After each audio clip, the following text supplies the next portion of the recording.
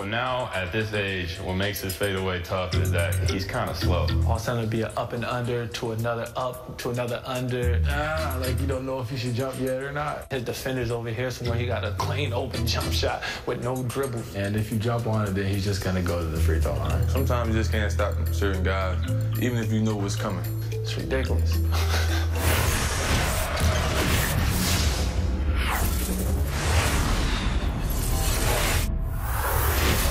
added the reverse spin fadeaway to my repertoire.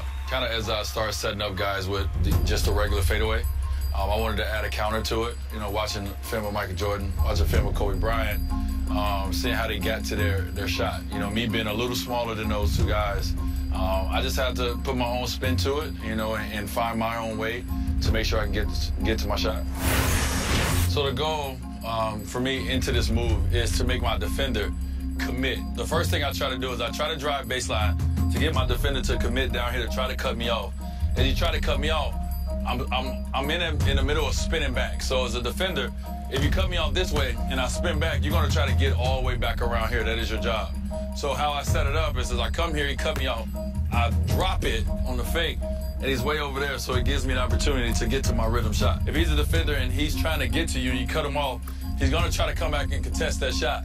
So that gives me an opportunity sometimes to get my shot up a little higher, or it gives my, me an opportunity sometimes to get to my up and under. Wade's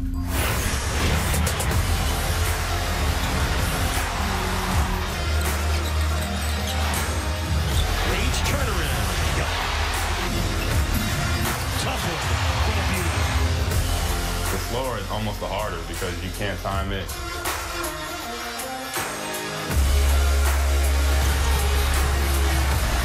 The pump fake is, is a lethal weapon.